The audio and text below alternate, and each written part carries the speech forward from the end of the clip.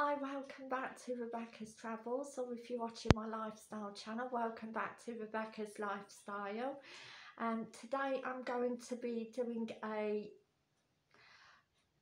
video called Travel News UK 5 Exciting Facts, September 2021, part 4. So, it, hi, if you are new here to my channel, my name is uh, Rebecca and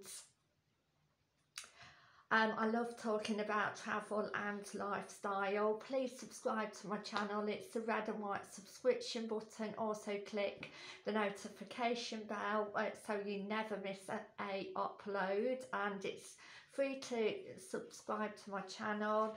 Um, in the UK it's a beautiful day today lovely sunshine um, here in the Midlands and what more can you want? Um, and it's one of those uh, that it's not too hot but it's also not too cold as well the temperatures. So um, they're great so now uh, let's uh, jump into uh, five fantastic facts. And uh, kicking off with Euronews, a UK red and amber list. Uh, what has changed?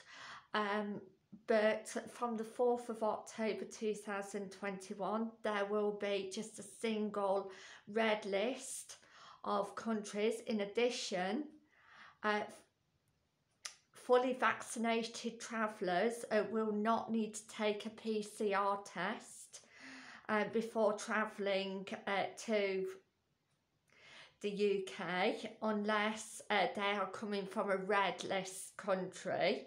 Day two uh, test, PCR test will be replaced with a cheaper lateral flow test. So that's some really good news. Um, number two, uh, Euronews. Um, again,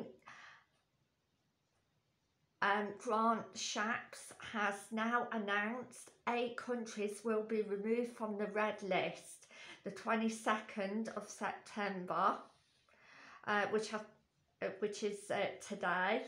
Um, these are Turkey, Pakistan, Maldives, Egypt, Sri Lanka, Oman, Bangladesh, and Kenya.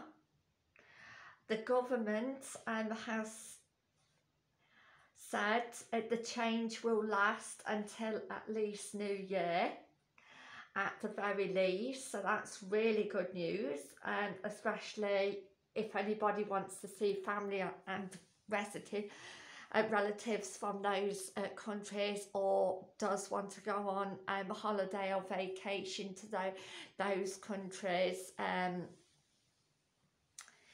and um, plus with them not being on the red list um, you don't need to quarantine um, either. So uh, so that's really good news.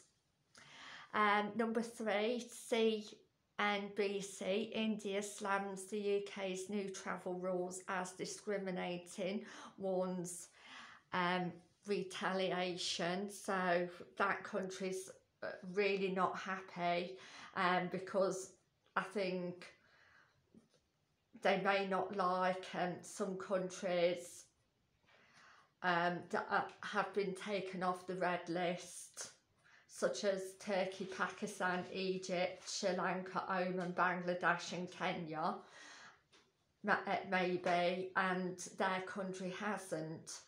Um, I would say it was uh, to do with the high contravirus rates and obviously some countries their contravirus rates have gone down an awful lot so that's why I would imagine they've been pulled off the red list um, as India um, it's probably very uh, um, active the coronavirus throughout the whole, um, whole country that's what I would suspect anyway.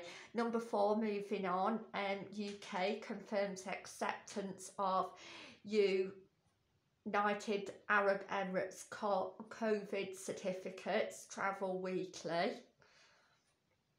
So that's really good news. So people uh, from the United Arab Emirates um, that have got COVID certificates uh, can come to the UK. And um, number five, last but not least, Travel Weekly, EasyJet UK missed uh, the boat with relaxation of travel curbs. Um, again, this is a difficult one um, and a really difficult situation.